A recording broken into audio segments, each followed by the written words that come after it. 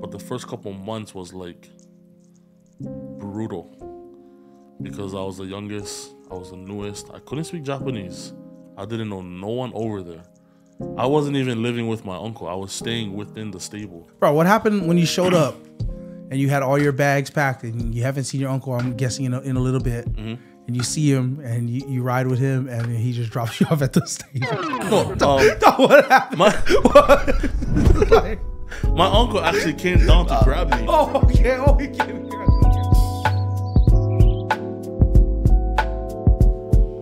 Okay, I think we're Man, we're here. Action. Action. Hey, I got my my boy Fia here. Um, met him in Japan. We met in Japan, but you're from. Tell me where you're from, man. Uh, born and raised on the west side of Oahu, Makaha. Makaha. Yep. Man, hey, I have a question. Uh, do you guys consider people from Maili to be from Waianae? Well, me personally, I mean, once you pass the power plant, you're on the, the west coast. So You're, you're on the West Coast, right? yeah, Yeah. Maili's from Waianae. Yeah. We're not from Nanakuli. No, No. Maili people they go to Waianae High School. They go to Waianae High School. That's what I'm saying, bro. I told you somebody that. I told somebody that he's like a, he's older though. He's like over 50. And he was Yeah, like, yeah. you from Maili. You're not from Waianae. Oh, Oh.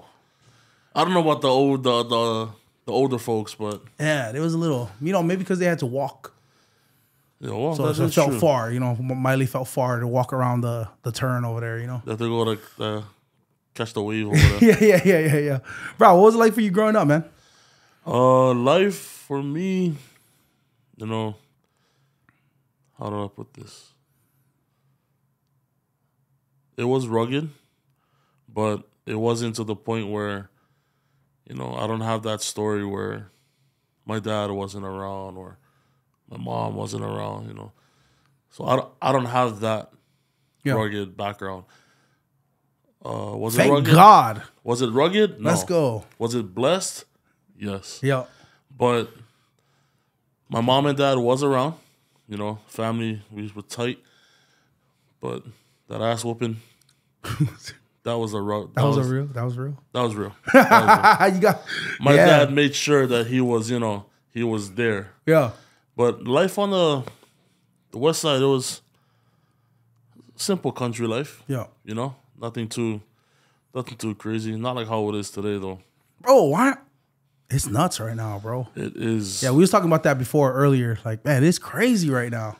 Not not what I remember. I, never, I don't remember it being that crazy out there. Me neither, bro. Yeah. Me neither. Like right now, there's just too much craziness is going around Waianae right now, Yeah, yeah, yeah. and like it's, you know, it's crazy because it's Waianae is on the news like every, almost every day Yeah. for something. Yeah. For something big too. If it ain't chicken fights, it's shootings. Yeah. If it ain't shootings, it's car robberies. If it ain't robberies, it's someone getting dealt with something. Yeah, You know what I mean? yeah. But it's just right now it's too crazy. But Yeah.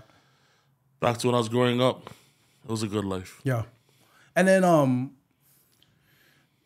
we met we met in Japan. So we Yes, met we when you were already in Japan, bro. So you were you were um wrestling and stuff. Yeah. Yeah, how'd you how'd you end up in Japan? Funny story. Um so I was in high school and at that time I didn't know what I was gonna do. I didn't know if I wanted to go to college, didn't know if I wanted to work or something. And then uh next thing you know, one day I was just sitting in the living room and my dad calls me to the room. And then I go to the room, he was like, close the door. So growing up as as a Samoan in a Samoan household, when your parents tell you to get in the room and close the door, you already know.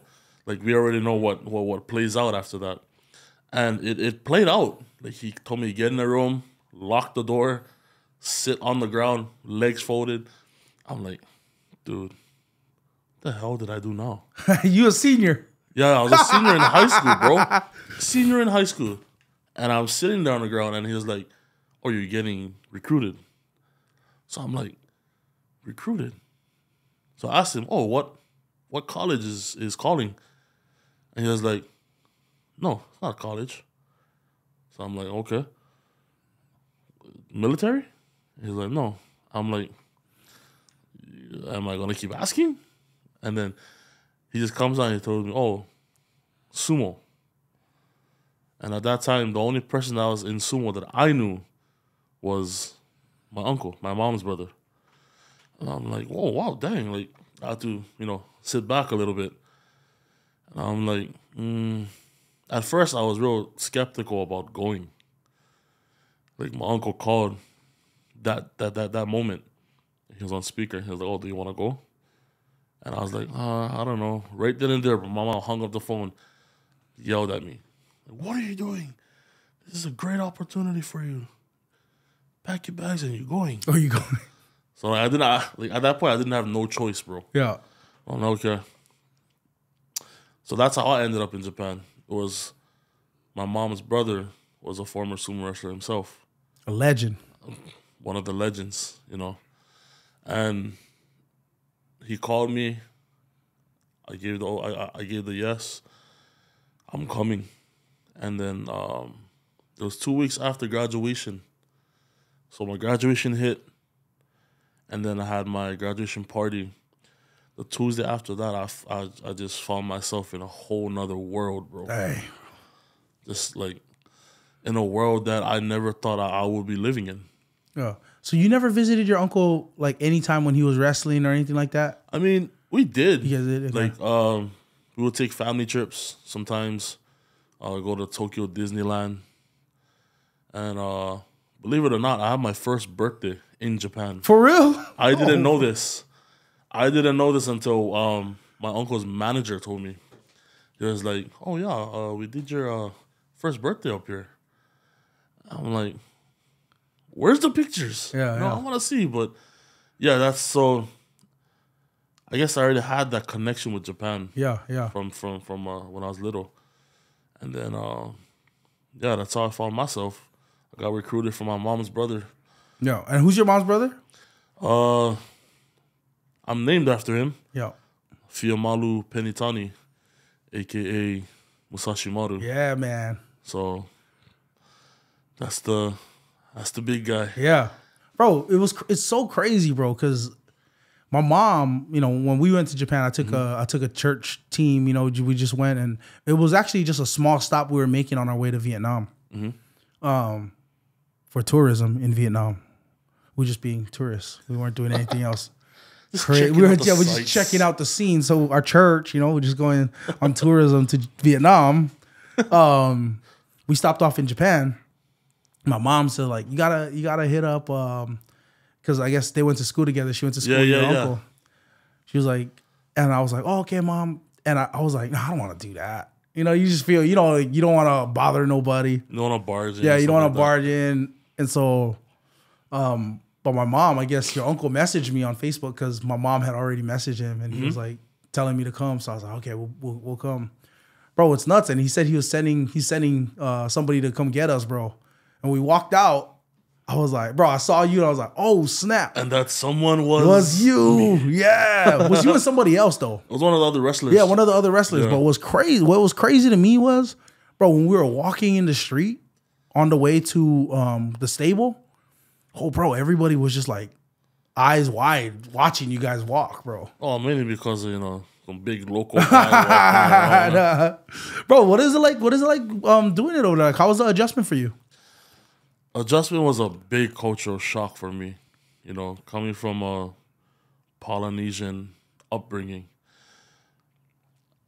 going to Japan, it was just blank. It's like like being born all over again because you got to learn how to talk in their language. You got to learn their customs. You have to learn how they function. So, uh, my first couple years was a little rough. Not first couple years, the first couple months was a little rough because I didn't start when I first went. I had to sit out a whole year. Oh, for real? Yeah, just train because I had to wait for my visa.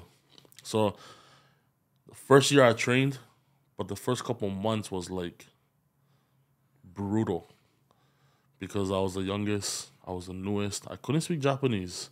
I didn't know no one over there. I wasn't even living with my uncle. I was staying within the stable. that I had to train Oh. with. Dang. So they just threw you in the fire right away. Threw me to the wolves, bro. And I had to learn things. Basically, I wouldn't say how he learned it because he learned it a little bit more crazier than me, but a little bit crazy because I had to go through a lot of trials and tribulations. But Japan, all in all, like it was an awesome experience, man. Yeah. Bro, what happened when you showed up and you had all your bags packed and you haven't seen your uncle, I'm guessing, in a, in a little bit. Mm-hmm. And you see him and you, you ride with him and he just drops you off at the stable. No, um, what happened? my Like, my uncle actually came down to grab me. oh, okay. Oh, he came and grabbed you. Okay. So he came down to grab me, and then we flew up together. So he explained what was going to happen to you? He didn't No. just drop you off at the stable? He didn't explain. Oh, he didn't explain. He didn't explain. He gra- he came down to grab me. I flew up with him and his wife, and then the first night we stayed at his house, and the second day he just told me, "Hey, you going?" I'm like, "Going where?" Oh, you're going to the stable. You gonna stay over there? He just, you know, hey, take this guy. Well, I was, I was tripping out, bro. Like, oh, so it's like that, but Dang, that's crazy. it was crazy. Yeah, it was interesting, Yeah. as I would say. Man, and so the whole time you were up there, you lived in the stable. Yeah, Okay. lived in a stable. And Um, then people might not know this, but the reason the co- learning the culture is way bigger is because sumo is very cultural. Yeah? It's a very much a big part of It Japanese is- culture, formal and Yeah, everything, right? It is a very, it is a very big part of Japanese culture. Mm-hmm. I mean, mainly because the sport is the sport itself is like over two thousand years old, and that's the only sport in Japan that still follows the old traditions, from the kimonos that we that we used to the way that my hair was to the way that we would present ourselves in the public. Like that was old fashioned Japanese. Mm-hmm. And that's another thing that I had to get used to. Cause you know, I wasn't used to walking around in a kimono. I wasn't used to walking around with my hair up in a knot. So the culture wise, that's a big part. Mm-hmm. It's a big part of Japanese culture. Yeah, that's what I was thinking. Um, that's probably like a lot more pressure, but the other thing there's a weird there's a there's a rule right that they have in each stable that you can only have one foreigner, right? Yeah. And so you were the one foreigner. Like, was, was that a lot of pressure or? Uh, it was for multiple reasons. Well, for for my case, one, I was the only foreigner. Two, I was from Hawaii, and Hawaii wrestlers already had, you know, a good reputation. And three, I was a nephew of probably one of the greatest wrestlers that has ever, you know, participated in the sport. So there was there's a lot of pressure coming on me, but you know, I dealt with it in my own way. But the foreigner thing, yeah, it was it was pressure, mainly because you I had to prove myself, so that you know I would be accepted in a way. Mm-hmm. So yeah. Yeah.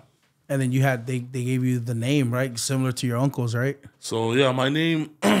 so my my uncle's name is Musashi Maru. Mm-hmm. I took the Musashi, but I just had Kuni. So my name was Musashi Kuni. Yeah. So, and then my nickname from when I was little, Mamu. Oh, that's your nickname. That's my nickname. That's my. So I don't know how that nickname came about, but ever since I was little, I was just I just was called Mamu.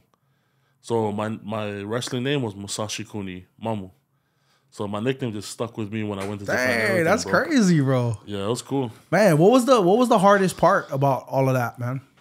The hardest part was just, you know, overcoming, you know, just conquering the challenges, you know, um, like I said, the trials and tribulations that not just sumo, but just being in a con- in a different country. So the challenge was just not to lose to myself. You know, I, there's days where I woke up and I was like, man, do I really want to keep doing this? Do I really want to go downstairs and keep on practicing? And then uh, if there's one thing that helped me get through what I went through, it was my dad.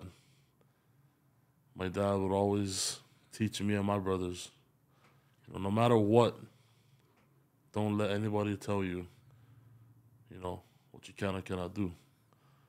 No matter what, you always gotta find a way to to overcome what you're what you're going through. Always always swing for the fences. So if you ask me, that was that was one of my biggest challenges was just to not not give up basically. Yeah. Yeah. Cause it's a it's a grind of a schedule. Yeah, you guys. I was watching a BBC interview, um, shoot, years ago. Yeah, yeah. You were you were young though. I was real young. You was bro. real young, I think I was like 18 or 19. yeah, bro. Why, yeah, you were you were 19, I think. I And they did the BBC interview, and bro, your schedule was nuts. Yeah. Bro, wake up in the morning, like 6.30. We start practice. We don't finish practice till like 11. We don't eat. We don't even eat in the morning, bro. There's no breakfast. So we wake up, put on our belts, and we just practice. And then from practice, we finally get to eat at like 12.30. And then from 12.30, we take like yeah an hour or two rest. Three o'clock we're back up. We're cleaning the house. We we're cleaning, bro. Like something like a lot of kids nowadays wouldn't even believe Yeah. Cleaning. cleaning. like, and when I say cleaning, I'm not like talking about wiping down our our our uh, PS5 or nah, bro. We're mopping floors. We're cleaning windows, you know, stuff like that. And then after that, uh, we got weight training, and then our dinner, and we have a curfew. Our curfew was always ten thirty, and then um, you break that curfew, bro. You're dust. For real. You're dust. Hey. The next day in practice, you're dust. so I know because I broke curfew once. Oh, for real? You I did? was dust, Oh, bro. bro, how'd you break curfew? I, I, I went out with uh one of the other wrestlers from the house, and we lost track of time. We're just hanging out eating, and then I, I- we, had, we had a few too, but we came back. When I came back. We uh, I checked my phone. I look, it was already eleven. Oh, bro. I went home. My uncle was waiting. I'm like, and he was he was just like, "Get upstairs. See you tomorrow in practice." I'm like, "Okay, okay." I couldn't even sleep that night. I'm like, "What is gonna happen? is this gonna be the end of me? My time has come. Oh, man. the beginning of the, The end." beginning of the end. But yeah, Oh, bro, they got they got work. It's crazy though, because you guys practice in that little room that we that we visited. yeah. So that that All you guys are just in there, Yeah. man. So when I was there, the max guys that we had was about 25. yeah, So imagine 25 guys in that little area. You know, that's a lot of that's a lot of tension. yeah, yeah, yeah. You know, you basically you're like you're basically breathing everybody's breath already because Yeah. it's so it's a, so comp it's compact. Yeah. So yeah, that's our that's our practice area. man. Oh, you guys are living with them, man. That's nuts. Yep. That's nuts. And then uh, we all lived in the same place.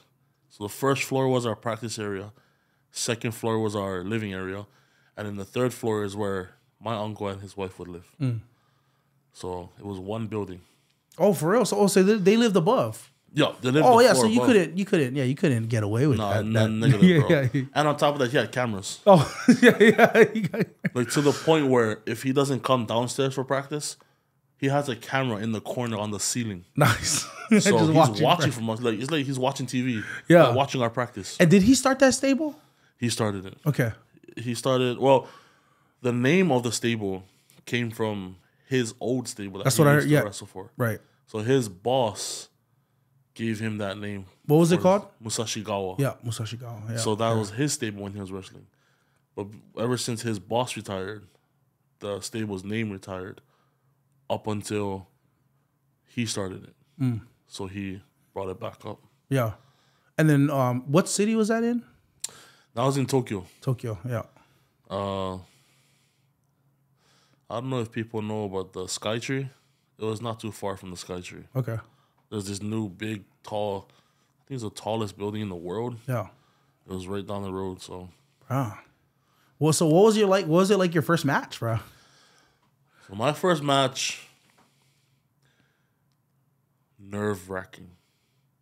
It was just nerves, nerves all over my body.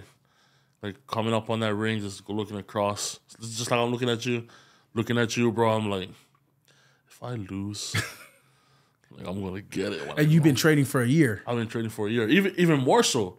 Like I've been training for a whole year, like brutal training with my uncle, and I get up on that ring, and I'm looking at you, and I'm the only thing that I'm getting uncomfortable looking at you right now. Like, no, I'm retired, bro. I'm, I'm good, bro. You're good. You're good.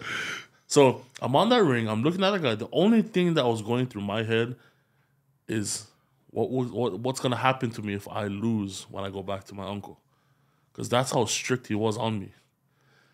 Like, if I lost, like, would he send me back home? If I lost, would I get a beat down? Those are those were the things I was running through my head. Cause when I got on that ring my first match, there was a lot of people watching. There's a lot of cameras. Like, oh look, there's Musashi Maru's nephew making his debut. If I made a fool of myself, that would be the end of it. But, you know, thankful to the man upstairs, I came on with the win and I, you know, I did my thing. Um but my first tournament, it didn't go so good. Cause uh what do you call it? I had a cut on my foot prior to the tournament and it got infected. oh, for real? So midway tournament I started, you know, losing, losing, and I was getting yelled at. So after the tournament, like it got infected to the point where I started to break out, like, you know, fever and stuff like that. Like, and then my uncle was like, "Oh, how come you never tell me you got in, your foot was infected?" I'm like, "Uh, maybe because it's my first tournament. You know, I don't want to look like a like a like a, a soft guy." Yeah. But yeah, that that that first tournament was not so good. Dang. But it's all good. Yeah. How long until you knock that guy out? Oh, bro, that was the craziest. The knockout, bro, the knockout. I don't bro, that thing is crazy. the knockout, the one, One hitter quitter, bro. one, the walk away KO. yeah, bro. You know, I talked to uh, Mark Hunt before I started. no, no, I was joking. That looked like Mark Hunt. That looked like what he did. It's like uh, that match was in 2018. So, um, Oh, that was not too long before you came back. Yeah, that was not too long. Wow. So in sumo, you line up, right? And it's like your hands once both hands touch, you're you're on, right? So Is that, what it is? Am I wrong about that? the uh, the both hands things. Yeah. That's the amateur sumo. Oh, for real? Yeah. Oh, So my bad. um, Oh, because there's no there's no referee. there- there's a referee, but Okay. I'm not too sure about the amateur sumo. Okay, okay. But you gotta have both hands. Professional sumo is just timing. It sounds weird, yeah. Yeah. Like how how you gonna time, Yeah, how are you gonna t- but if you think about it, well, when I was in it, it's just you get one hand down, and then the other guy gets one hand down, and then we just I don't know, it just happens. It just happens. So what happened with what happened what what what happened with you and that guy, bro? Poor guy, you ended his career, yo. How's he gonna recover from that? I don't know if he's still recovering. He's still recovering, dude. But um, the knockout. Back to the knockout video. Uh, prior to that match, I was in the locker room getting ready, doing my taping, uh, stretching, you know, um, just getting ready. And then, mind you, there's two locker rooms that we have. One for the west side, and one for the east side. I was, I believe, I was on the west side. Mm. So he comes in the locker room that I'm in. And I'm looking at him like, are you okay? Like, what, what, I was thinking, like, what is he doing here? And he comes up to me. And he talks to me. I've never, how do you say, uh, I never told my uncle this.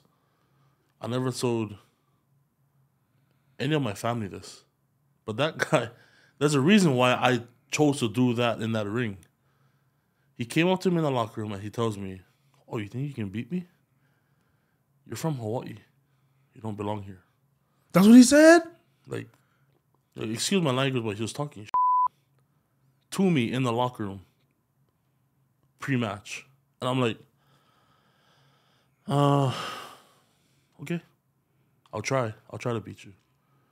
So I was already livid, bro. Yeah. Like, my mind was set on hurting this guy. Like, it didn't just happen. Like I, I wanted to beat him so bad because of what he said. And being from Hawaii, when you're in Hawaii, yeah, you got your rivalry with this school, that school, that guy, this guy. When you're out of Hawaii, it's Hawaii versus everybody. Yeah. Versus the world. Versus the world, bro. Doesn't matter what country. It's it's we coming. You know what I mean? And for him to say that, I was like, okay, I was a little slap in the face. I got you. I got you. And that's disrespectful too for him to come in. Oh, yeah. Yeah. Mean kind. Yeah. Like to the point where he came into the locker room where he wasn't even supposed to be in, mm-hmm. coming up to his opponent and taunting him in a way, you know. Yeah. I didn't know. I don't know if you know he was talking to a Samoan, Tongan guy. That, you know. yeah. But yeah. anyways, back to the story. We get outside. I'm sitting at the bottom of the ring. And I'm just eyes locked on him, bro. And then we get up in on the ring. I didn't realize how short he was. Cause when he came to me in the locker room, I was like laying down, stretching, taping.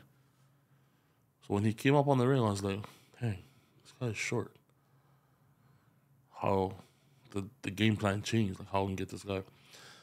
The first thing that came in my mind was the forearm rip. so I'm like, hmm, small guy. We'll just see if I can stand him up real fast and just just work on him. Just aim for his, you know, his face and just get get him off of me. Little did I know I was gonna get that knockout. I didn't know. So boom, we get our hands down, and then we go. My forearm caught the back of his jaw. And then I come in for a second hit, and I hit air.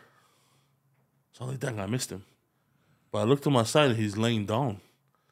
So I'm like, oh, okay. yeah. He just walked out. I just walked back to my side. Bro, what did the crowd go? Oh. The crowd was oh at first, but when I was walking back, I, I was getting booed from a couple of people. For real? Yeah. I was getting booed from Japanese people. They were yelling out, You can't do that, this and that, blah blah blah. Go back to where you came from, blah Oh, blah blah. for real? So that's that, that that's where overcoming trials and tribulations and stuff like that comes in. When I get booed for just winning a match Yeah. and it wasn't like illegal. What I did was legal, but they didn't like it. But I, Wow. So it wasn't it wasn't like all love when you went, even though your uncle's a legend, it wasn't all love when you got to Japan. no, Wow. I had to. From your stable, from the the your your your team in the stable was they was accepting, right? They were cool. They were accepting. They but were accepting. outside it was like, There were the few that was outside. wow, for real. Yeah. So I guess uh I guess you can say when the saying goes, if you got people hating on you, then you must be doing something right. Yeah. and I just won a match, but they didn't like it because it wasn't. I wasn't from Japan. Yeah. Wow. But I think it's crazy because in that video, like I said, the inter- the interview, your uncle was being interviewed. He did mention that Japan at that point, that was 2012, I think, 2013, 14, that video dropped. But they said, uh, he said at that point, twelve years. It had been twelve years since Japan had a, a grand champion anyway. Yeah. So maybe And there's a little bit of animosity because they can't. they weren't winning in their sport. even to this day, bro, there's no Japanese grand champion. Wow. It's a Mongolian. So the Mongolians and the and the Europeans, they've been uh they've been up there. Yeah. Is it because their size?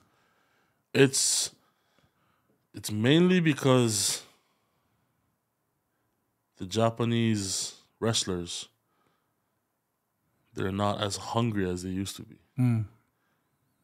Cuz nowadays they have everything. They got the technology. They got the money. All right. Because so in sumo, one of the things that the athletes, the wrestlers have to do is they have to get sponsors. Right. That's Yeah. how you make money. And so the Japanese, they actually come in with a lot more support, a lot They more. do.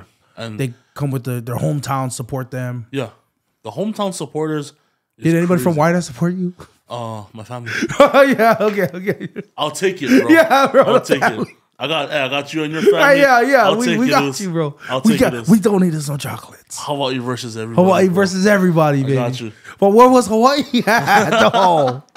Nah, um, there's a not a lot of people knew that I was up there. Mm. I think only a lot of my closest friends, Yeah. family, my church members, they knew I was up there. But uh, not a lot of people knew. yeah. I mean, I didn't know you were up there. Like my mom only told me that you, your uncle was up there, but when I met you, I was like, "Dang, there's another poly out here, Yeah, bro." yeah, You were the first poly I seen in Japan, bro. yeah. Man, the first Hawaii uh, Hawaii born wrestler since since my uncle. Then. yeah, that's That crazy. was yeah. back in the 1990s. yeah.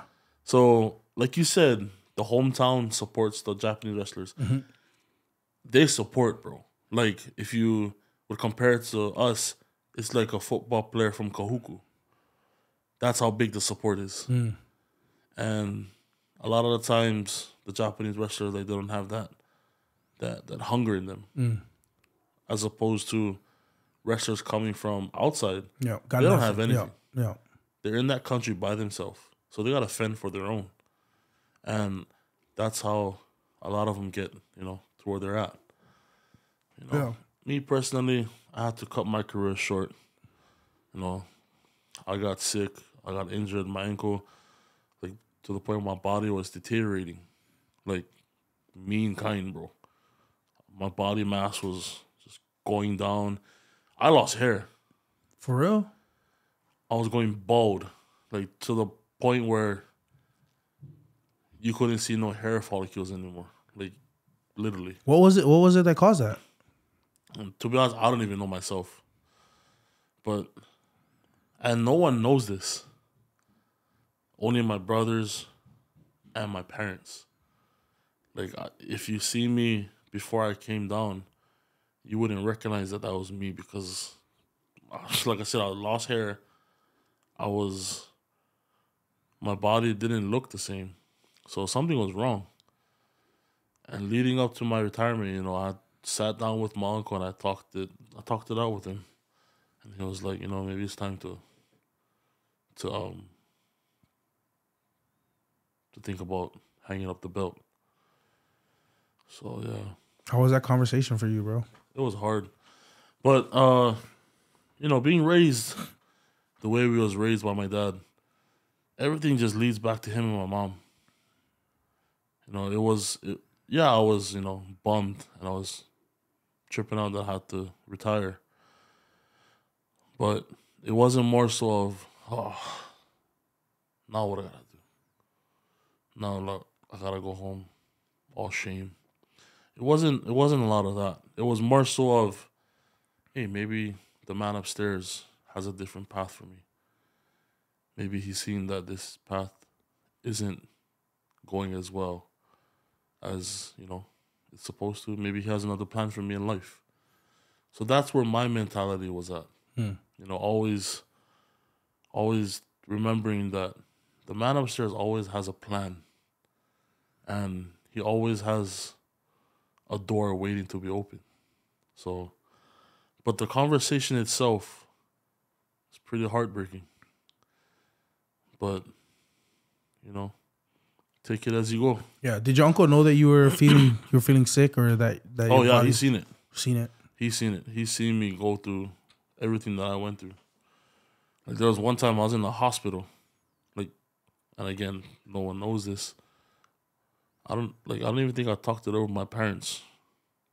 I was in the hospital for about three weeks to almost a month, just trying to get myself back up to par, health wise.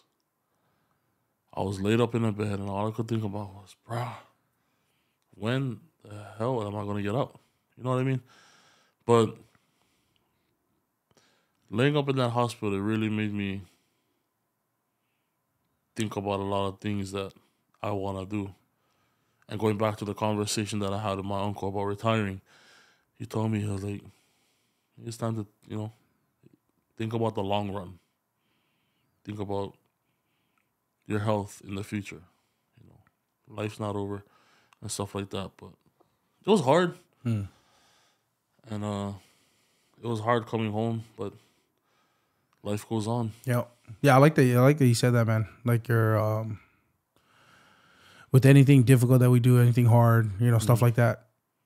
God is what do you call sovereign, right? He's in Oh, control, yeah. man. He he knows the end from the beginning, and if you're, you know, if you're a follower of God, what do he say? He says that you know he works all things out for the good of those who love Amen. him and are called according to his purpose, right? Yep. So, I think that's a good a good thing because man, if we uh if it all rested on us, if it was all dependent on us and bro, we just got to figure it out on our own, that would Yeah. be terrible. That would be a be, terrible uh, way to live in the world, man. That would be pretty dramatic Yeah, yeah, yeah. on our end. Yeah, yeah, that would be terrible. But bro, so so you praise God for your parents, man. That Oh, yeah. that they didn't because I, I know people I was talking to somebody about this too. I know people that play sports, bro, Mm-hmm. and when it doesn't work out for them, you know, and it's rare that sports is gonna work out. Yeah, You know, it takes a lot of like your body needs to be right. You need to get the right opportunities, be in the right spot. But I've I've known people that when they don't make it, you know, they go they either they go to college, they don't make it to the pros, which is a small you know small mm-hmm. percentage of people actually make it to the pros. And bro, like their their family is disappointed, and they're mm-hmm. they're you know everybody's like disappointed in them. You know, and, wow, look mm-hmm. at him, shame, right? You never even make them like, and they feel that pressure. You know what I mean? Yeah, yeah. But to have parents that were supportive, that knew, hey man, like this ain't the end. You know, Yeah, and an yeah. uncle who's like looking out for long term, because I know people that they don't they had no shot at the pros, and they don't make it to the pros, and they're all depressed. Oh. You know what I'm saying? Like they're all sad because Yeah, that, yeah. that's their dream, you know. And I talk to a lot of athletes that feel that way. Like, oh, man, you've been working for something for so many years, and you don't get it, man. It's just a lot of disappointment there, you know. I mean, you were doing sumo for seven years. Yep. You know what I mean? Trying to grind, put in all that grind in, and then man, God's called you to pivot, but you know He has something better for you. That's and hats off to your parents, man, for being like that. Yep.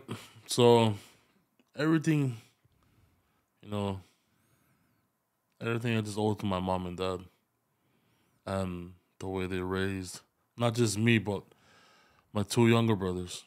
That's why you know in the beginning I I mentioned I don't have that story where my parents was absent.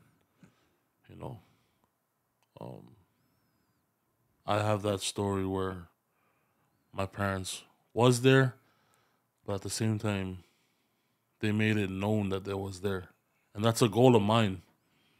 You know, when I have my own kids, I want to make sure that I'm just like my dad, Mm.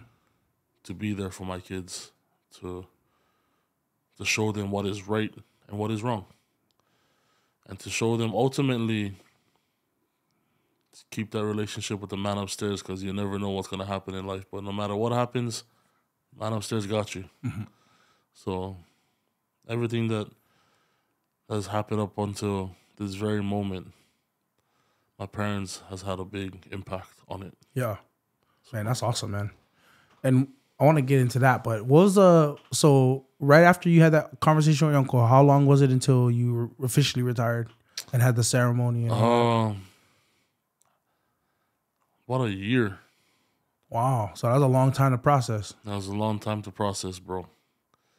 A year, so I had to um, not just process, but get everything ready for the retirement. because the retirement was was a big deal for me, for our stable, for my supporters, stuff like that. So leading up to the retirement, man, it was just draining. Like sometimes I'll just be like, "Can I just uh, catch a flight and go home?" and my uncle, them, no, no, no, no, no, no. You if you're gonna if you're gonna retire, you're gonna do it the right way. So yeah, it was just a whole. It was a long process leading up to it, mm. and the retirement itself. It was. It was emotional, but it was also. It was pretty cool, the way that they carried out the retirement. I had to cut my hair. A lot of my supporters and a lot of the sponsors I was at the stable took turns cutting my hair. And I was like, damn, I'm really retiring. Like, this is really happening. The first time that first person put that first cut in my hair, reality hit. And like, that's when I started getting all emotional. Yeah. So, yeah. Did you um? You look back now. Did you do you miss the do you miss the time in there? I get that question asked to me a lot. Like, eh, like everyone, everyone knew that I come across. They always ask that question. It's a yes and a no answer. It's the yes part is I miss it because of the experience that I've had, that I've been through.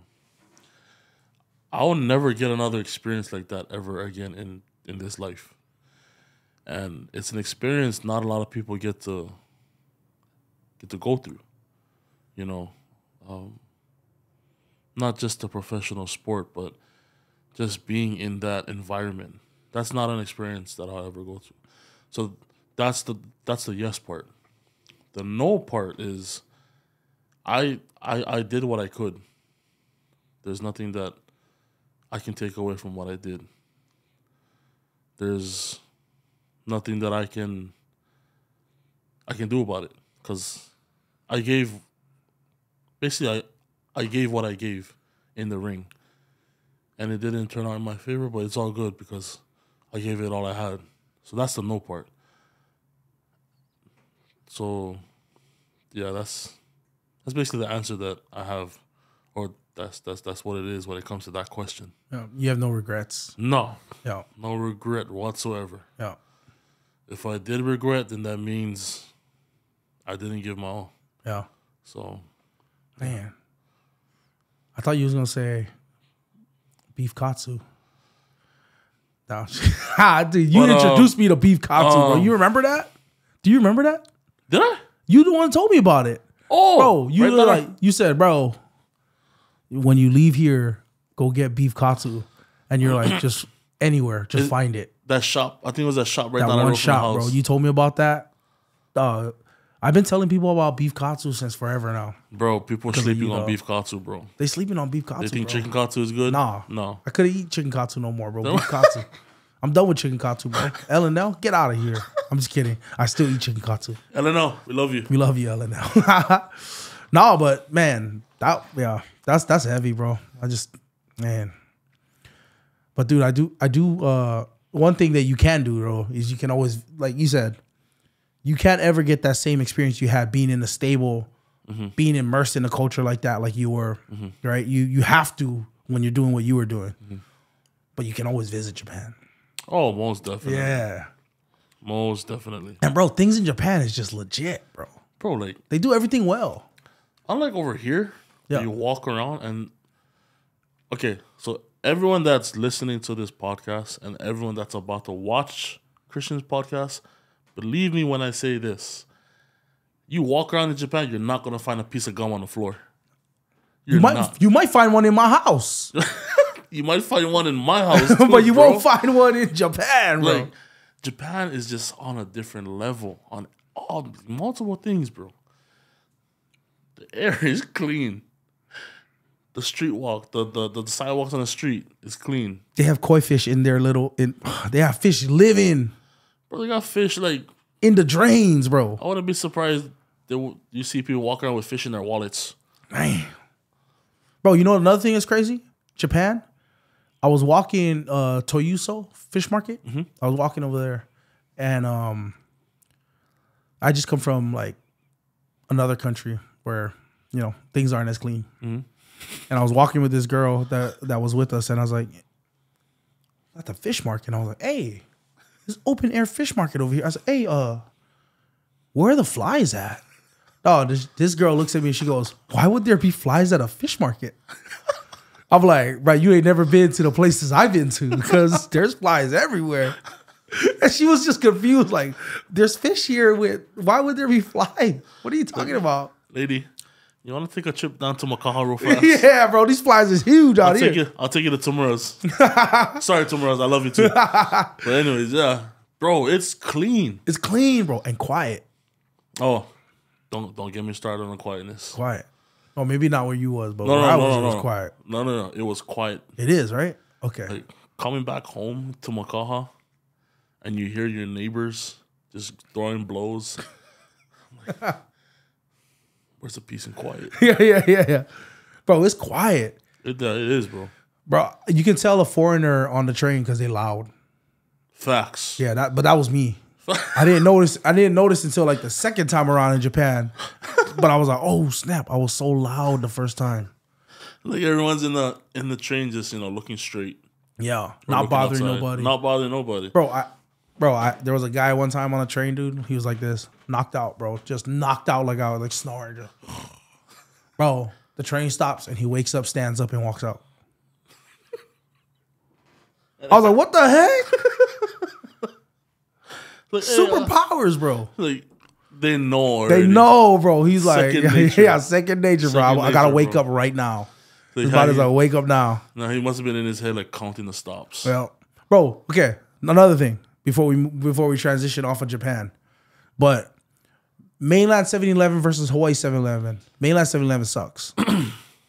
mainland 7-Eleven sucks. Hawaii 7-Eleven is way better than mainland.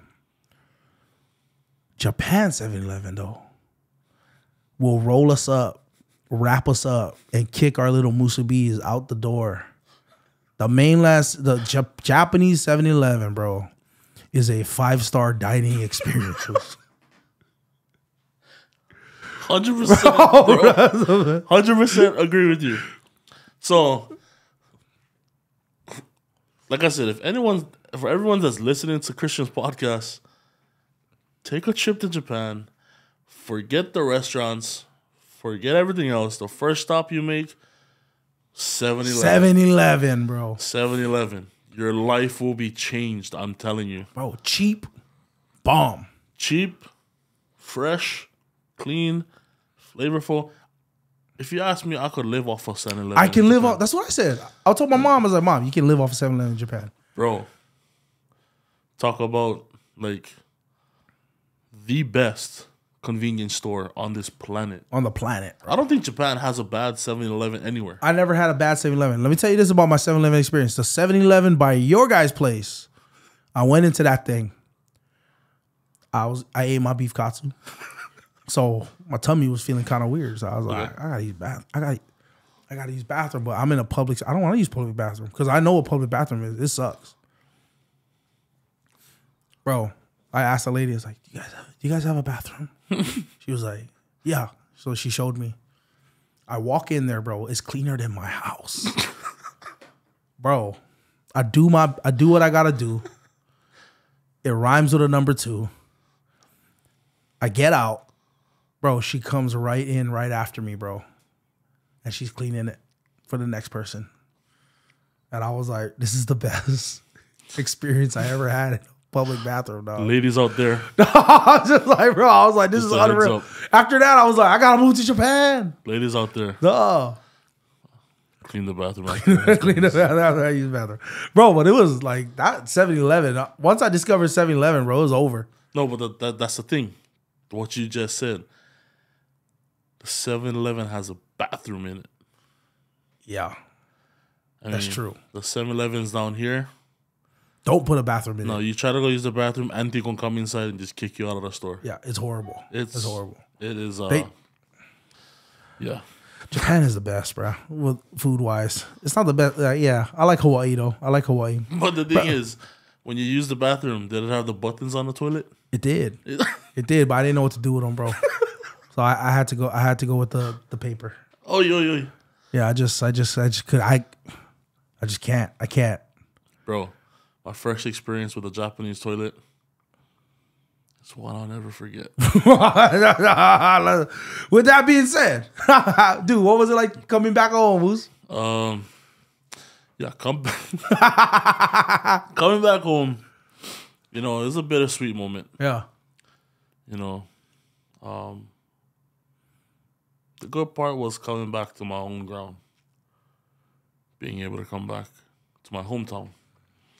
You know, seeing my friends, seeing my family. That was a good part. But like I said, you know, about Japan, it's my home away from home. Nothing will ever beat that. But coming home, it was uh to be honest, it was like coming to a different place again, in a way, because I've, you know, the first part of my adult life, it was in Japan. that's right. Yeah, you went right Right, after, graduation. bro. You're a different. You're a different person at that point when you Yeah. come back home. Different mindset, different everything. I felt I felt like a Japanese coming to Hawaii.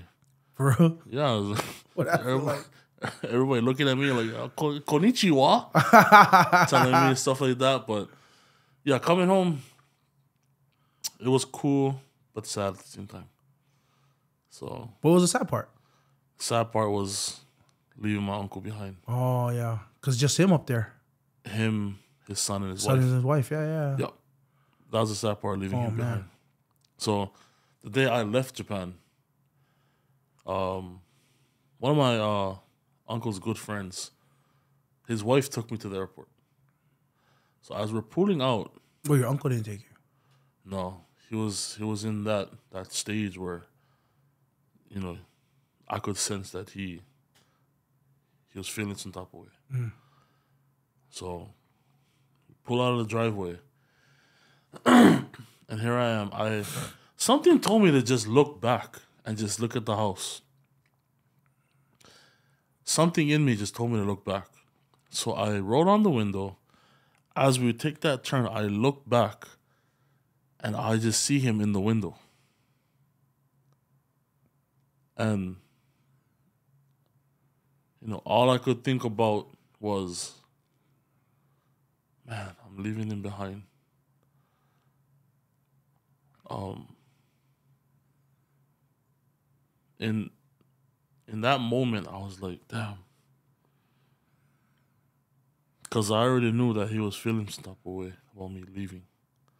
Just sad or just sad, you know, all over the place in his mind. Hmm.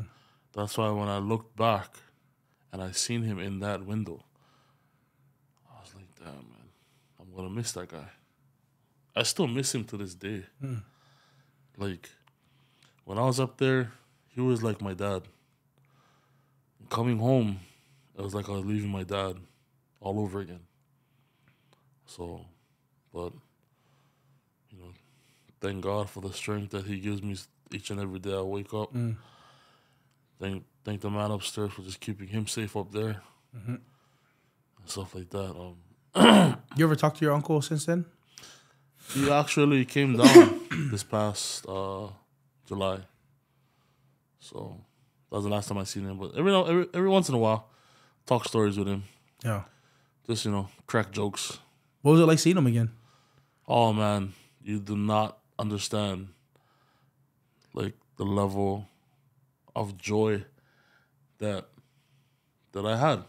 So in that video where, you know, people from the families from the military come back home from for, for a certain amount of time and like the kids are so happy to see mm-hmm. that's I was that kid. To see him again was like like like I said, seeing my dad all over again. Mm-hmm. Because he was like a dad to me. He still is. And seeing him, I was like, "Bro, there he is. Like, hey. And a lot of memories just kept rolling back. Just kept coming back, co- coming back, coming back. All the all the times we just, you know, spent together. It was a happy moment seeing him again. And then um I'll never forget it. Yeah. Yeah. Man, because he been up there for years now. Same thing like me, bro. He went when after his graduation. Yeah. He went after his graduation, and you know, he did his thing. He's still out there, Yeah, yeah, still out there doing his thing. yeah. And he probably still there's still a desire to, you know, give kids opportunities out here. I'm sure, waiting for the right one. Believe it or not, this hasn't broken out yet. My brother's up there, For real? my youngest brother. Wow. Like, I I mean, I know we're on your podcast, but no one knows. The association don't even know yet. Oh, for real? He's training. Dang. We gotta cut that out. Uh, it's up to you. Yeah. yeah. Okay. Okay. Okay. But But no, no. So your brother's up there. my brother's up Wow. He just graduated. He just graduated, same like me, bro. bro. So you were able to talk him through that? What did you What did you tell him? So he didn't know what he wanted to do. Okay. Cause uh, unlike my my brother that's right under me, he loves school. Like he's a straight A student. My youngest brother, he's the opposite. He doesn't like school. He doesn't like studying, none of that. So in his mind, he was just gonna work. So when it came time for him to graduate, like uh same same time around me, like around Christmas time, his senior year, he just came on and he, he, he started to talk to me about sumo. And he was like, Oh, how is it? How's the lifestyle? Is it hard? So, you know, I wasn't I wasn't gonna sugarcoat anything that I said to him. I wanted to make sure that he knew what he was gonna go to if he does choose. And then he just went quiet for about a couple weeks and he came out and he told my parents, I'm gonna go sumo. Wow. So What they say? Were they excited for him? Oh or- yeah. My mom, especially. Just her brother too. Yeah. Yeah. It's like it's like me going all over again. Yeah. Bro, you walk so he could run. Oos. So You walk so he could ah. run. he's That's there right awesome, man. So is that why your uncle came in July? Part of the reason? Came to grab him. Like how he came and grabbed me. Bro, what did that feel like for you watching your brother go, bro? So it was sad seeing him go. But it was like the it's like someone pressed the replay button. Yeah. Just watching him walk off from uncle. And it was it was cool. So now I'm tearing up thinking about it, bro. So- that's crazy. A full circle moment. full circle, bro. Bro, that's wild. Full circle. God So- knows what he's doing, dude. Oh, for sure. Yeah. Yeah, yeah. For sure. So now, you know, there's another local boy trying to make it out there as well now. Hey, and we can support him. Fact. Let's go. So, and We gotta push that kind of stuff out, man. That's awesome. and uh, the happy thing is that local boy is my younger brother. So it's cool. That's awesome, bro. There's nothing but the best for that guy. Yeah, man. Wow. That's that's awesome, bro. So what time is it? Eleven. He's just getting up for practice. Hey, bro. I- you- oh boy. Yep. Oh boy. He's in it, bro. He's in it. He's in it. Oh man. I have, I have a question. Like, how do you get paid in it? Like with sumo though? So With just sponsorships? Is that what it is? sponsorships and after every tournament you get your paycheck. Oh, okay. So um and it'll, it'll all depend on the ranks that you have. The higher ranks get paid big. The the real low ranks is only like it's a hard life, bro. For real. The real low ranks is only like seven hundred dollars a month. Wow. That's how much. So it's a grind, bro. It's a grind, bro. It's a lifestyle. yeah, it's a lifestyle. Yep. Wow. It is a lifestyle. Start from the bottom and you just work your way up. Is there any a, a, any point where you can start a family while doing that? So once you make the real high ranks, can. you can. Wow. But once you're, if you don't make the high ranks and you're still at the bottom, you have to live in the house. Yeah. You have to cater. And remember how I told you that the first couple months was brutal? Those first couple months was because I was at the bottom. I had to be that one to cater. Dang. I had to wash my the the older guys. I had to wash their clothes. I had to get their belts ready. I had to clean the bathrooms, clean the toilets, like basically be a butler, a servant, Dang. rather than a wrestler. So pretty soon, I, I'm pretty sure my brother's gonna go through that same process as well. But I know he got the willpower Yeah. to just push through. Yeah. And he got your example too. I'm sure that's helpful. Sometimes, yeah. Yeah. Sometimes he he calls, you know, he asks, "Oh, how like how do I do this? How do I do that?" Yeah. So it's it's, it's fun talking to him Yeah. about that right there. Yeah. So. So what'd you do when you got home, man? Like what what'd you what'd you what'd you what'd you get into, man? So when I first came back home, the first thing that I told myself was I wanted to get a Japanese job because I speak the language Do you speak Samoan too? a little. Wow, you're trilingual. Dang. So, but like I see one of your episodes just talking about how you get clowned on for not speaking Samoan, bro. I know how you feel, Yeah. especially my brother. My brother's more fluent than me in Samoan. Oh, for real? Your younger brothers? You're the oldest. I'm the oldest. Oh, okay. So Dang. the second oldest. Yeah. he's he's pretty fluent in Samoan. And bro, when I like sometimes I'm not I'm not that fluent in Samoan, and I'll admit it, and I'm I'm not ashamed of it. Sometimes he clowns. Yeah. He clowns, bro. Yeah. And I'm like, oh yeah, sweet Japanese. yeah, yeah, yeah. Let me. Let What's me the GDP of Japan? Yeah, bro. Say your alphabets in Japanese, bro. but uh, yeah, I uh, I speak a little bit of Samoan. I can understand it fluently. Yeah. And Tongan? You speak Tongan? No, You're Tongan, okay. So my family, we was raised on on our Samoan side Mm, okay. because uh, my my papa, he passed away the year I was born. Oh, for real? Yeah, so Rosil, but you know I never I never fall astray from my Tongan side. Yeah. but we were just raised on our Samoan side. Yeah. Yeah. So yeah. yeah. Wow. So you got a Japanese job? yes, sir. Let's go. When I first, uh, like I said, when I first came back, I had my mind set on grabbing a Japanese job just so that I can keep the language. That's the main thing. That's the wanted. main thing. Okay. I didn't want to lose the language because I knew that Japanese is a big part of the tourism in Hawaii, Mm-hmm. and you know, it's there's a lot of good jobs that has to do with Japanese speaking. So I'm like, hey, I got it. So why don't I, you know, grab a job that has it? And then I applied to Aulani, you know, because that was the like when I first came back, that was a big thing. Like Aulani was it. Oh yeah, it was. it. Was the thing. Yeah. You know what I mean? So I applied to the Japanese translating job in Aulani. I didn't get it. I actually, like I said, I actually applied to Aulani for six different times in six different departments. That's disrespectful. like, That's disrespectful. No, believe it no. or not, the very first time I applied, I actually went to an interview that they required me to have a Japanese speaking test. Oh, so you spoke Japanese there? Yeah, and bro, they were giving so much good feedback. Like, wow, your Japanese is so fluent. Like, wow, we didn't know you could speak this. Da da da da. I'm like, oh, I got it. I- You know, I'm gonna get it. I never got it. Dang. And then after that, after those six times I got denied from Aulani, I was like, ah, you know what? Maybe the hotel business isn't for me. So that's when I started working at the Waianae Intermediate. So I worked there, and then from there, I got into coaching, football. So I was. I was I worked there for two years. I started. Uh, I coached for a full year.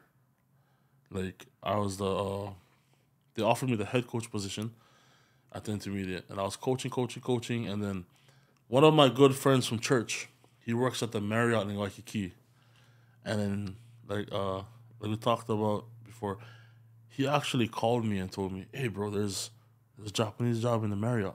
I'm like, "Bro, really?" I just applied for Aulani six And times. you was done with that. I was like, ah, maybe it's not for me. And he, he was just like, bro, just try it. I was like, okay, I'll try it. And then applied. I got a phone call for an interview. A week later, after that, I was like, yeah, they're probably not gonna hire me too. Two weeks later, I get a call that they want me as an in-person interview to come to the hotel. So I go over there, talking to the supervisor and the manager, and then all they were doing was just nodding their head, like, mm, mm, mm, like that. Know, like like when when you're talking to someone that you want you, you want it to just be over with. Like, mm, yeah, I'm nodding my head, but I wanted you to keep those. My bad. I know how you feel. I'm like, and yeah, so that happened, and I was like, man, now they're really not gonna like me because they just met me in person. I get the job a week later. That's crazy. I'm like, Wait, is this happening? And it all comes full circle, like we talked about, with the man upstairs having a plan. Right now, bro, this is the happiest I've been with a job ever since I was in sumo. For real. I am loving this job like to the fullest. Yeah. I'm having fun with it. And which which Marriott you at? The one in Ko'olina. So close close by home, bro. Close no need drive no need drive to Waikiki. Yup, 10 bucks in the gas tank. Yes, sir. Yes, sir. Bruh. 10 That's bucks in the gas man. tank, I'm good, bro. Yeah. I mean, And you enjoy interacting with the the, the people. yeah. Yeah. Because in Japan, we would have to interact a lot with people. Mm-hmm. So that's where I really grew the love of, you know, customer service and stuff like that. You know, making sure people's day is really, is, is, is going good. And like, being a, as a sumo wrestler, sometimes we go to places and people aren't happy.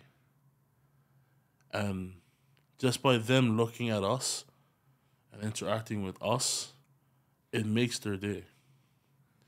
Like being a like that that little scenario right there, that's that's the best feeling that that someone can have. The fact that you made someone's day that much better just by you being present. Mm-hmm. That's that's a goal for the that that's a win for the day. So that really carried on when I started at the Marriott.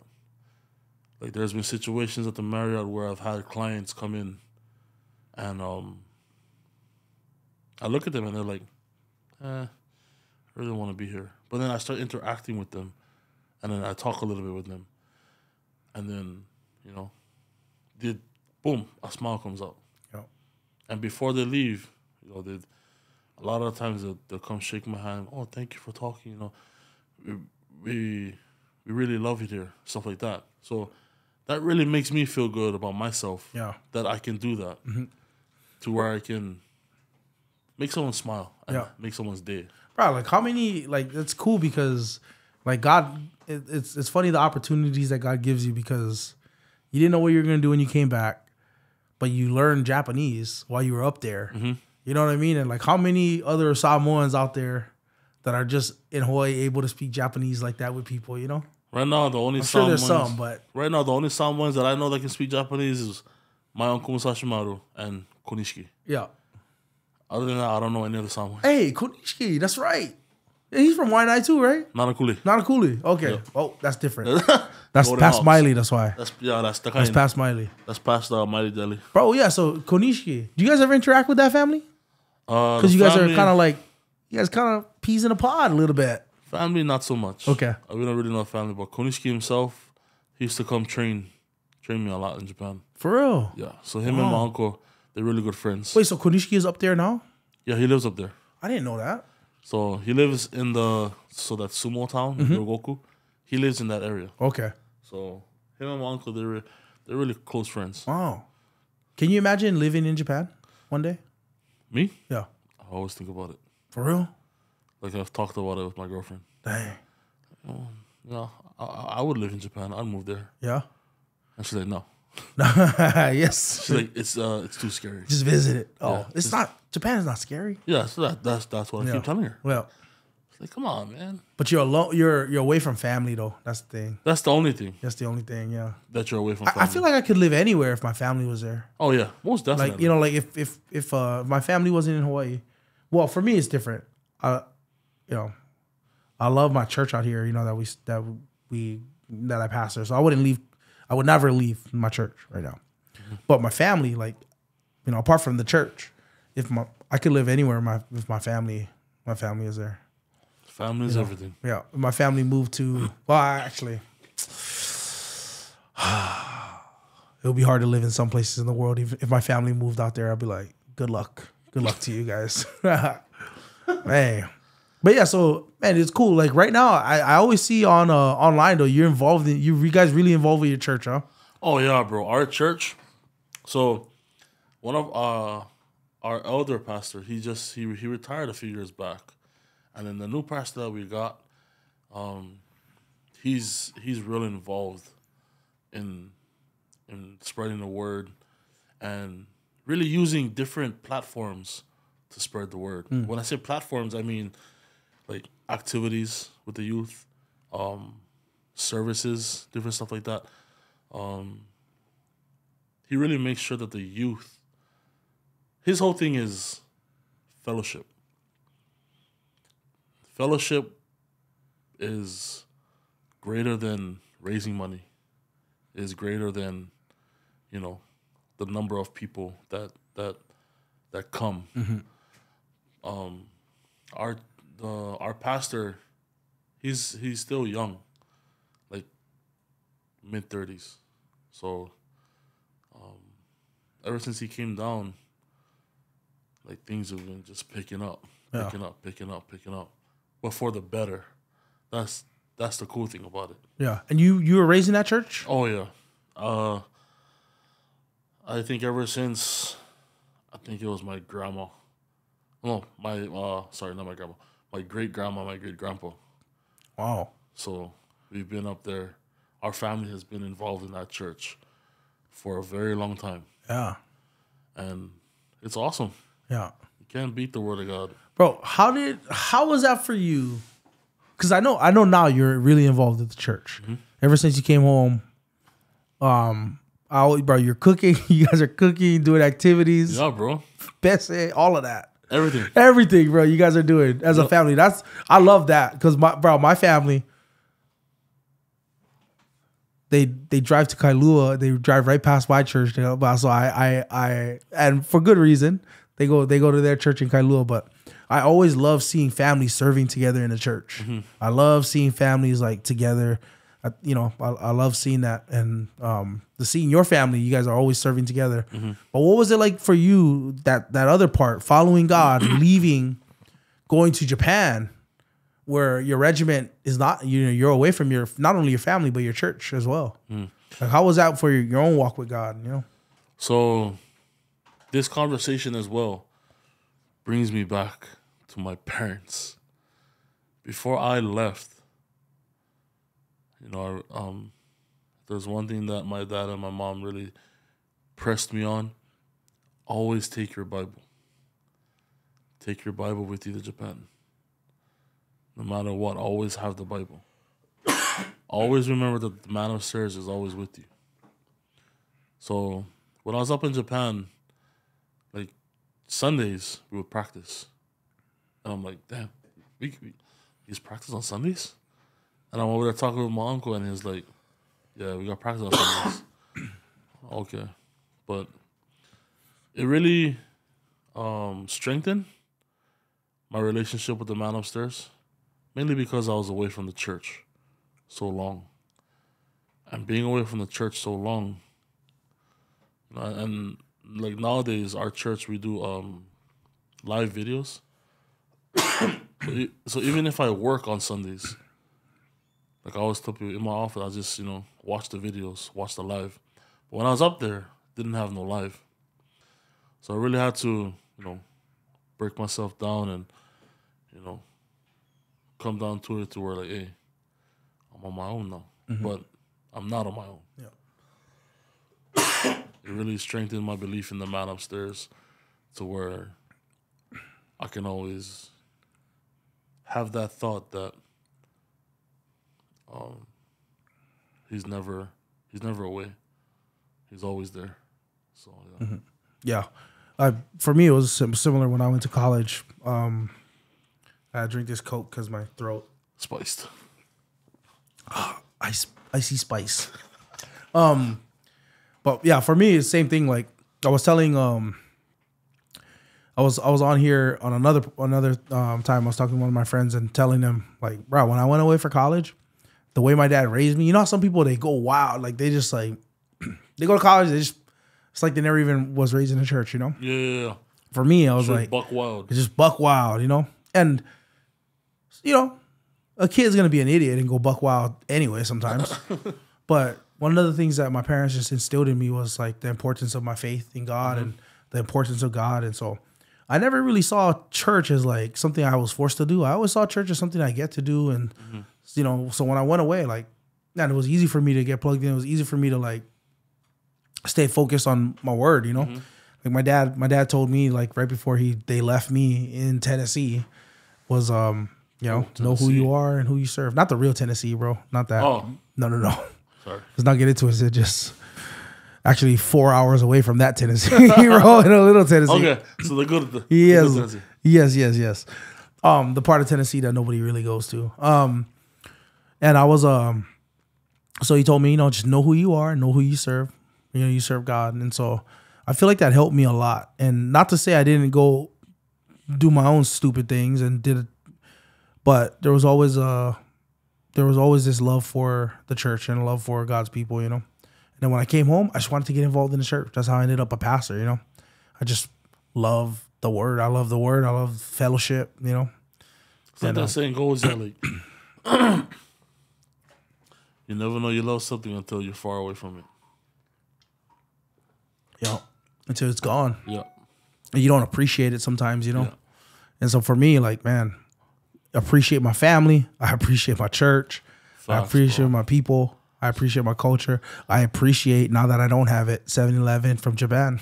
Ay, Ay, not oh, the sandwich. oh, the best egg sandwich, bro. No crust. No crust, bro. No crust, bro. No crust, no sogginess, straight fluffy. Oh, bro. like air. Bro, I it's crazy. Who is making that egg sandwich, man? I could sleep on that egg sandwich. Bro. Oh, I'd, that's a good. I'd, I'd probably eat it. But Uh, yeah, I could eat that egg sandwiches.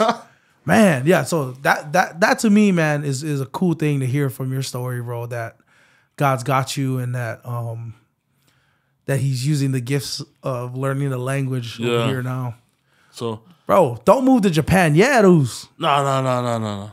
I still got a lot. Don't to do it. Still got a lot to do. Don't do it. I like cigars. I like I like cigars. Mm-hmm.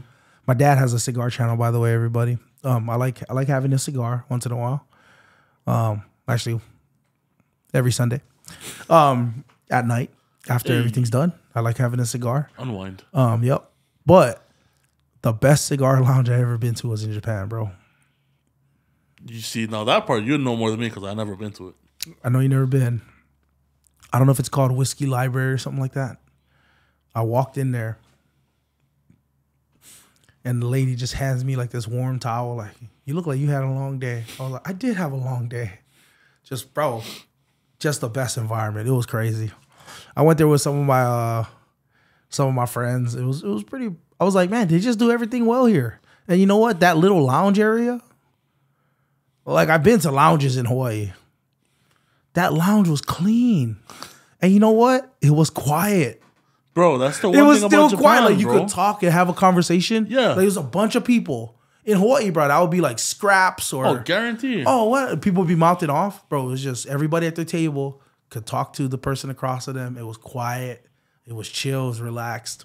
In Hawaii, you're probably gonna sit in one lounge and be like, "Oh, you're the kind's son, huh? Yeah, yeah, yeah. Oh, I know your mom. It was nuts, bro. Oh, you're the kind's cousin, sisters, uncles, brothers, sister, yeah." yeah, yeah, yeah, yeah. yeah, but yeah, Japan, Yeah. bro, it's it's good. top notch. Did your your girlfriend she ever been there? No, she's oh, never. Change your life. We plan a trip.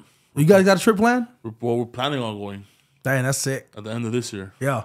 So I told her, yeah, I told her, yeah, check out Disneyland. I told her, cause I've been to the one in uh, Florida, and I was like, eh, maybe Disneyland is not so cool. But I went to the the one in uh, Tokyo when I was there, bro. Talk Unreal. about the atmosphere of Disney. Really. Like I just want to just marry M- Minnie. I know it sounds weird, but sorry. Not like that, but you just the No, love. It's the yeah, love. It's the, love. It's the love. But yeah, bro, like Tokyo Disneyland, bro. Just you ever did those Mario Kart, bro? Would it be disrespectful for a sumo wrestler to be riding in those Mario Um, Kart tours? I can't fit. Oh, I've never thought about that. I never even thought about that. They don't got one for y'all. No, bro. Dang, Hey, I can't fit. I don't think Mario was 6'4", 320, bro. I saw those. I was like, bro, that would be dope, bro, to be I- in there. Like sometimes when we be going around the, the the the city, we would see them going. I'm just looking at them. I was like, must be nice to be skinny. bro, that's how I feel when I'm on the on the on the train. I was like, I'm must be I'm like, nice, man. yeah, I'm never gonna ride one of those, yeah, bro, that's how I feel, bro. dude, that's how I feel about surfing, dude. bro. Bro, in order for me to surf, I like one of my boys, uh, he worked for one of the surf companies, and he was like, "Bro, you should surf." And he gave me his board, and I was like, "Bro, I was just sinking, bro. Like I couldn't." And he was like, "Ah, you need a bigger board." And I said, "For real?" I was like, "Bro, anything bigger than what I got right now?" Bro, they got big boards. They got big, big boards. But bro, here's the thing: any bigger than what I had, which Home was Depot? fat and no, it might as well be a canoe. so I might as well go canoe. I might as well just sit down on this board. Like, uh, You know what I'm saying? let me call Home Depot real fast. Yeah, was, I'm at the place. I'm never gonna surf, and I'm okay. God's got me. God's got you, bro. I would surf in the new heavens and the new earth, but there's no ocean over there. So that's That's what it like, says, when there's no everyone, sea. like, when people ask me, "Oh, you go swimming?" No, I go floating. no, you swim, Moose. I'm able to float. able to float just move my arms. yeah, I'm swimming, but I'm floating. Oh, bro. Dude, you like you man, you guys live deep in Makahado, yeah? Literally the last stop on the map. bro. That's crazy. I'm like, so our house is like, uh, it's like a five minute walk from Makaha Beach, Makaha Surfing Beach. Yeah. That's how far we live, Dang, man. all the way to the end. You like it out there? Oh yeah, I love it. Dang. Nothing will ever beat my hometown. Yeah. I mean, I'm pretty sure there's other, you know, Waipahu, Waipahu was pretty good, bro. I, I lived in both. I lived in both. offer or Well, I, I never lived in Makaha, but I lived in Maili. Maili. That's all good, bro. Yeah, that's why not. That's Waianae. Waianae. I, I lived in. I lived in Waianae, Waianae East, and um, What? bro, Waianae East, east side of Waianae, There you go. and uh, but I moved to Waipahu. I like them both, bro. I like Waipahu. It's just not like it's, it's funny because I go out, you know, because my my wife's family they live out Makaha, Mm-hmm. but they live in that neighborhood across you guys. You know the one like it's Oceanside of the road, Oh, okay. so that little small neighborhood. Wall Street. Yeah, yeah, yeah. Um, so they live out there, and uh, I always tell myself when I'm out there, like, bro, I can't, I can't imagine living out here if I never have to drive to town. Bro, That's the thing. that's why working in Ko'olina, That's what I'm saying. it's Clutch. clutch. Like, I see people spend like close to three hundred dollars on gas alone, Yeah, and time though. and I'm here just spending like twenty bucks here and there just to get home and go back. I'm like, Yeah, and the time, bro. You don't need Oh, to yeah. waste out there. You know. But bro, so I can see myself living out there if it wasn't for the the drive. drive. Yeah, because right now, like, we're like five minutes away from my church, so Mm-hmm. way easier. But if, if you was to live in my car, yeah, it's another hour. It's another hour, you know what I'm saying? Another hour uh dodging uh you know projectiles as well right now, currently as it stands. Uh, Uh, not- I wouldn't say projectiles. I'd say maybe missiles. missiles, bro, whatever that whatever that is, you gotta dodge out this dangerous. make sure you there. get bulletproof windows. It is crazy out there, dog. It is unreal. It's unreal. I don't remember it like that at all, bro. I think everybody training to be 007. Yeah, now. 007 out there, bro. Like, Bro, this is what I said. I saw I saw a podcast with somebody that said that. He was like, I ain't gangster. I don't want none. That's how I feel, bro. I don't want none. These young cats, bro, it's, it's just crazy out there. no, like me too. I'm like, too old, bro. I'm too old to like, like, me personally, I'm, I I don't consider myself anywhere near a gangster. Yeah.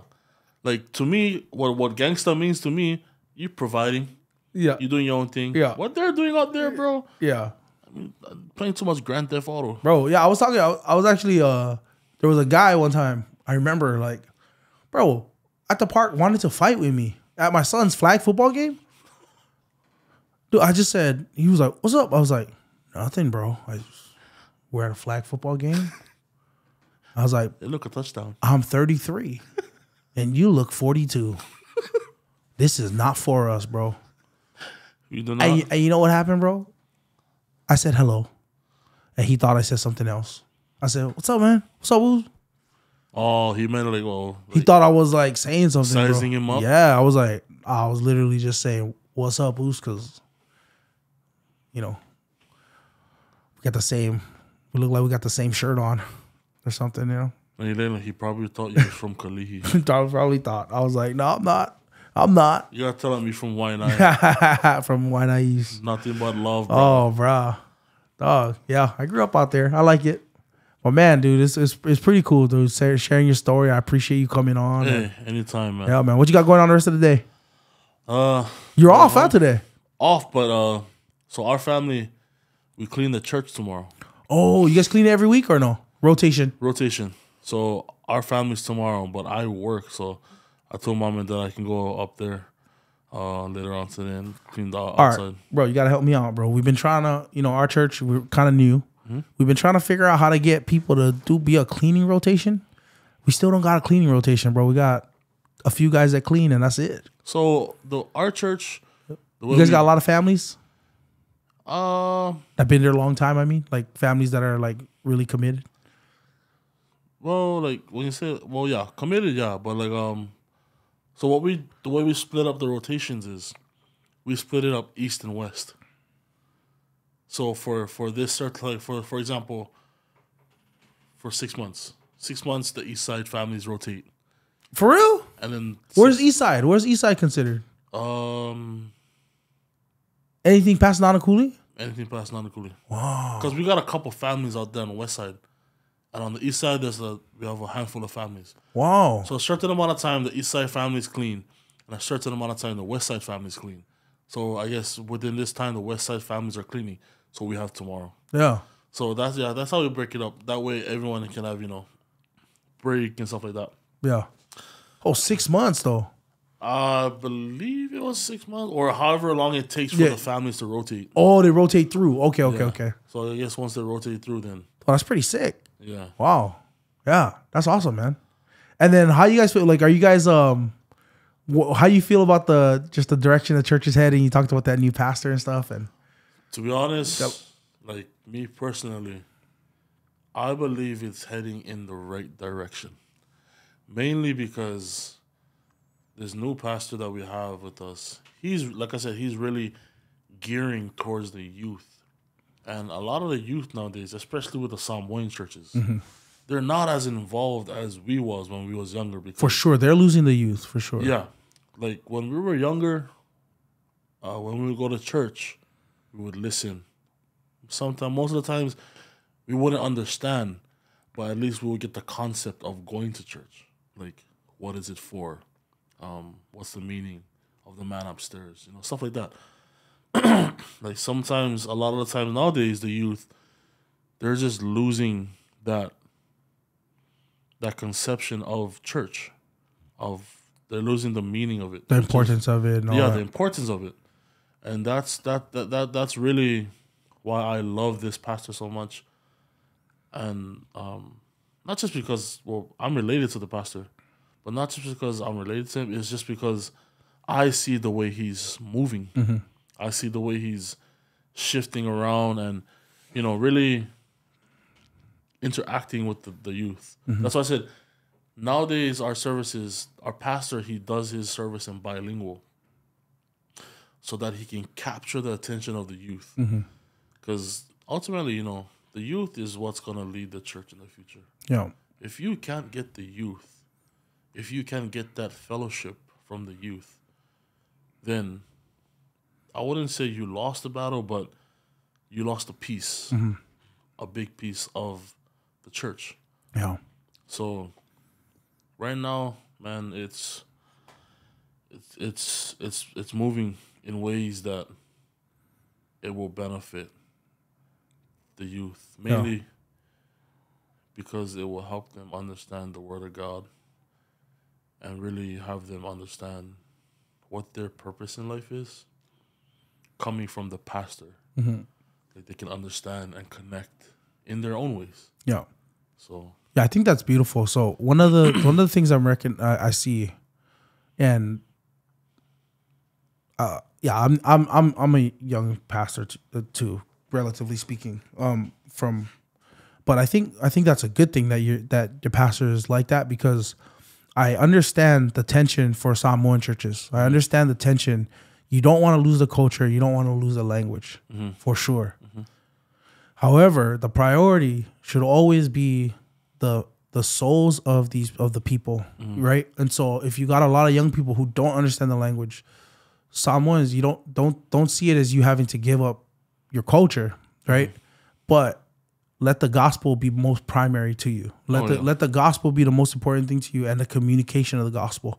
So, example, that if the kids aren't speaking Samoan, but the parents they understand English and all that, and the kids understand English, then it's fine. Like I, I get it, you don't want to compromise, but compromise for the sake of the gospel, mm-hmm. and then but on the back end, you know, help the kids to understand, have classes for the language and the Yep. culture and things like that. But on the on the but but don't forget that the most important thing that we do as as ministers of the gospel, the most important thing we do as a church, right? Like in is is communicate the gospel, right? That's what um Paul in in First Timothy three, right? He says, um, he he's- you know Timothy's a young pastor, a young pastor too, and Paul tells Timothy, I'm, I'm writing these things to you, so in case I delay, in case I take too long to get to you, that you may know how to behave in the household of God, mm-hmm. right? The household of God, which, is the church of God, right? The pillar, and he calls it the pillar and buttress of the truth. So the pillar of the truth, the one that holds up the truth, that the main job of the family of God, the church of God, is to uphold the truth. Mm-hmm. And we can't uphold the truth if we're communicating in a language that they don't understand.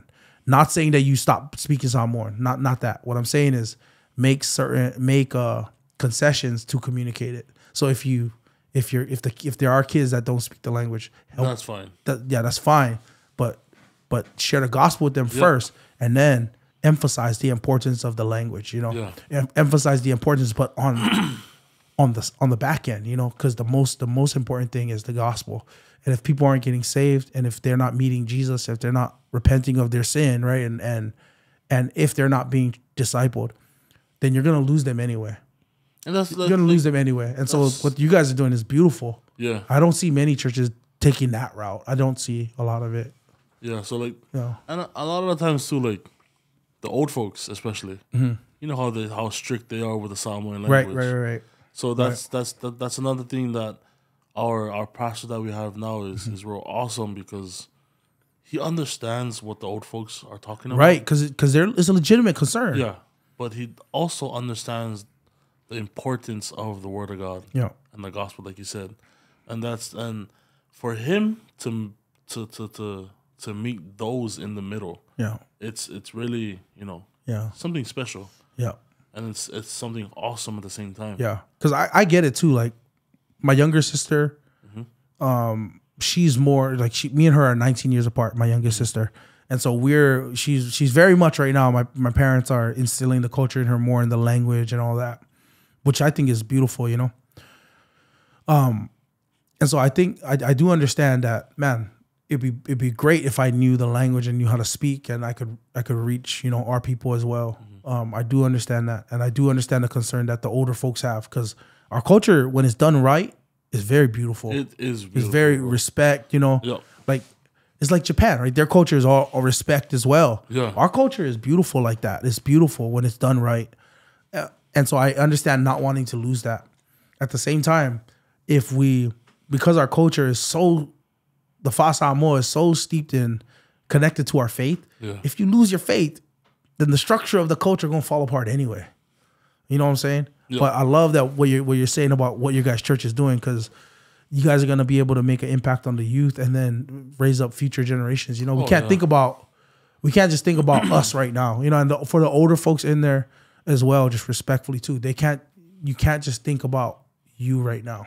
the long run. The long run, you know, there's generations after you. There's more, you know, there's a couple more generations after you you gotta and- think about the generations that are gonna sit in the seats that we're sitting in. that we're now. sitting in. Yep. Yeah. And I'm sure it's gonna be the same for us, you know, when we're the older folks Oh yeah, in the church. definitely. and we're sitting back and going, these guys, the way they talk is so stupid, Yeah, so yeah. dumb how they do it. And so what we got to do is remember, you know, that the most important thing that we do as well is the gospel. You know, in everything that we do. That's why we, as Christians, that's why we work. That's we work so that we can advance the gospel. We we doing this podcast, sharing our stories, so that people will be blessed, so that they can encounter Jesus and and um, believe the gospel, right? And as a church, our most important thing that we do is present the gospel to these kids. You know, Yeah. So right now in our church, you know, as you know, it's Lent season. Yo. So our church, Oh, you guys follow the church calendar? yeah. Oh, okay. So our church right now we're in the middle. Um, I wouldn't say a challenge, but like different ways to show that um or teach people about the Lent season. Yeah. So I think it was today. Today or tomorrow is our next one. It's the prayer. So we the challenge is to not the challenge, but the um how do you say what's that word? the word I'm looking for? Sorry. No, you're good. Uh, oh, the goal is to teach. That's where the goal. The goal is to teach people um, the different parts of the prayer. Um, think the being thankful, forgiveness, and blessings. So, the main the main tiers of prayer. So, um, our teams we broke up into two teams. So the teams have to say the um the leader, the captain of the team just writes down a prayer, and the teams read the prayer, and then um you have the younger ones really explain um what the prayer means stuff like that. So, and then at the end of every um every video that we make, we just say you know how our Lent is going or if we really stuck with our Lent and stuff like that. What'd you give up? Candy. Dang. So you can't have a. Is this count as candy? The spice zero? candies as in chocolate. It's hard because I'm a Reese's and Butterfinger type of Oh yes, sir. Bro, you know what you got? You're a Reese's and Butterfinger. Yep. You know what you gotta have? The Reese's crispy crunchy bar, bro. I'll have that when is over. no, oh, yeah, don't do it now. Don't do it now. Oos. wanna a- break I'm my so sorry. Don't do that right no, now. no, no. But the Reese's, you ever had it? Crispy crunchy bar? Yeah. It's so so go to 7-Eleven. And then you're gonna go and it's gonna say Reese's crispy crunchy bar. It's a Reese's peanut butter cup in the form of a Butterfinger.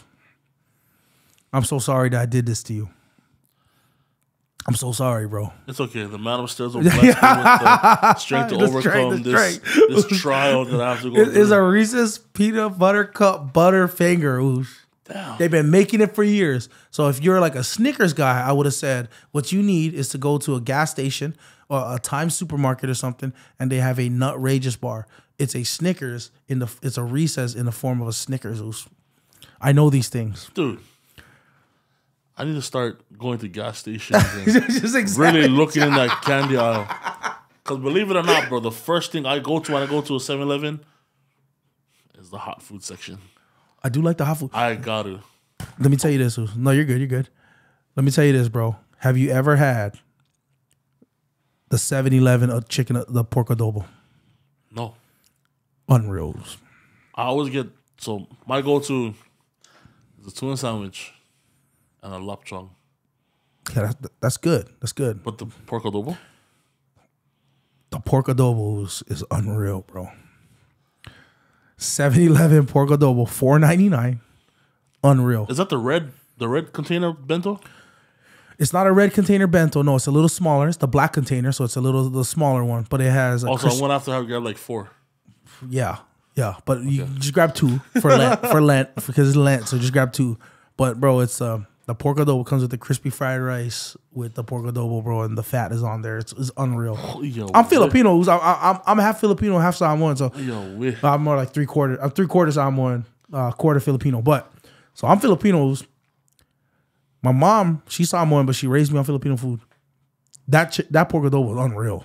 so you know you're Filipino. I food. know my Filipino food. My mom, my mom speaks. My mom's fluent Samoan, raised Samoan, cooked Filipino.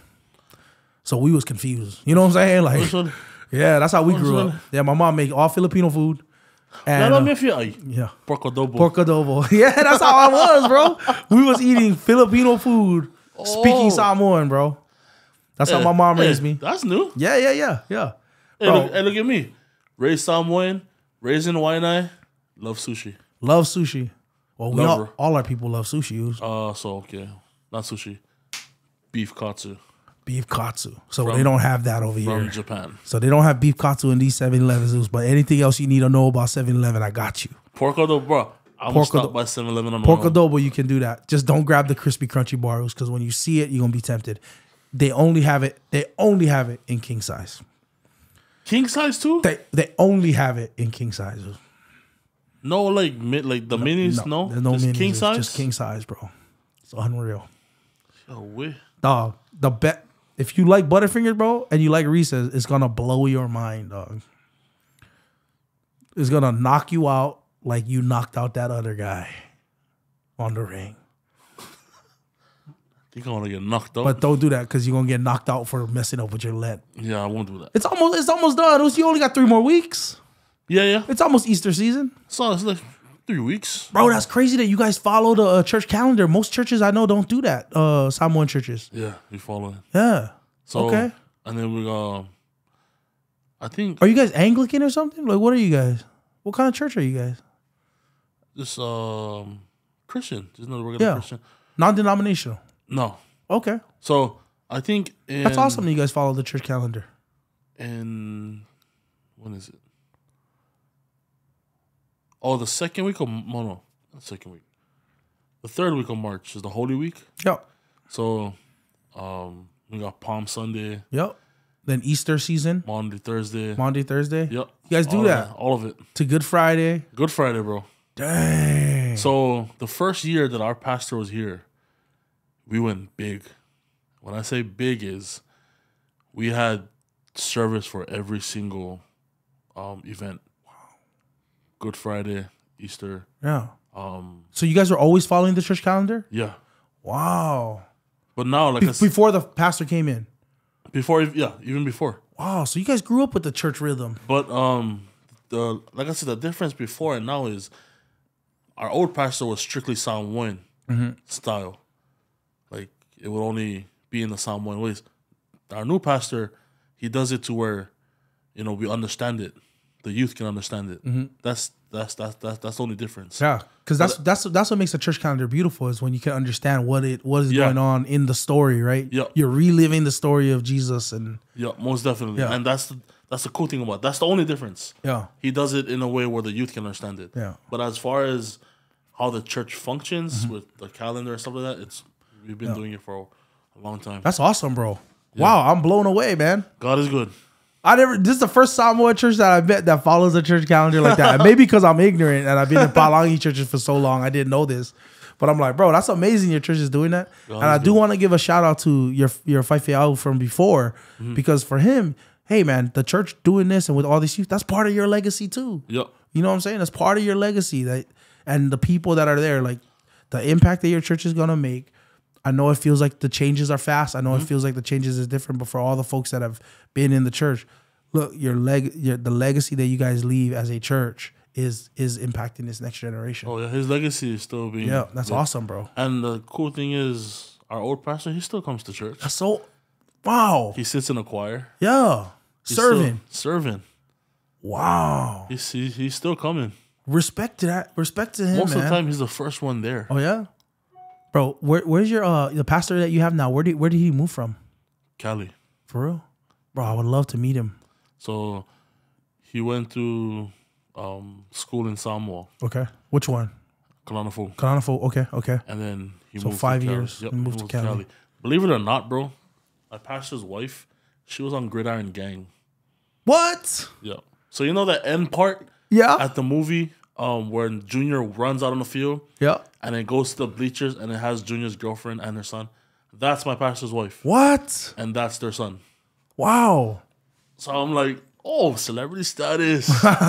Bro, to know. I, I would love to meet your pastor, man. I would love Yeah, to. yeah, I would love you to set it up and, and meet him just to just to meet another Samoan just just just serving God. You know, Yep. just it would be would be So awesome. um, we have a service this Sunday. In fact, I know, I, I know, I know you preach. Mm-hmm. So, but we have another every first of the month, um, Fafawina service. So we do it with another church. Um, but yeah, we do performances. We do musical numbers yeah. in the church and stuff like that. Um, You got a choir director in your church? yeah.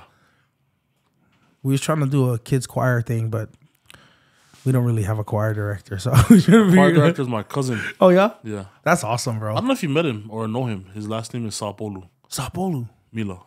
No, I don't, I don't know him. I know the Sapolu last name because of Jesse Sapolu, but Yeah, so the Sap so our old um our old pastor, he's a Sapolu. oh, for real? Yeah. Wow. But yeah, our yeah, that's that's our choir director.